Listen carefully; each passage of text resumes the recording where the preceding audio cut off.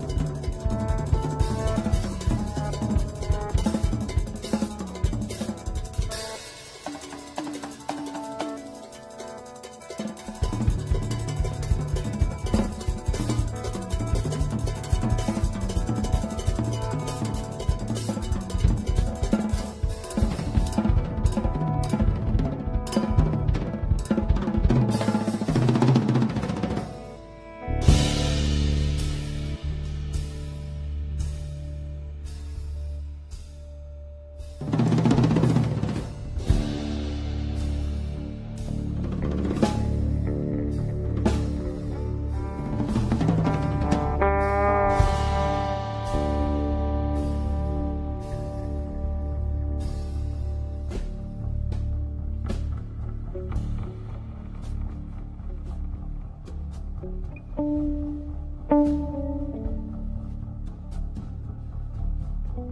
you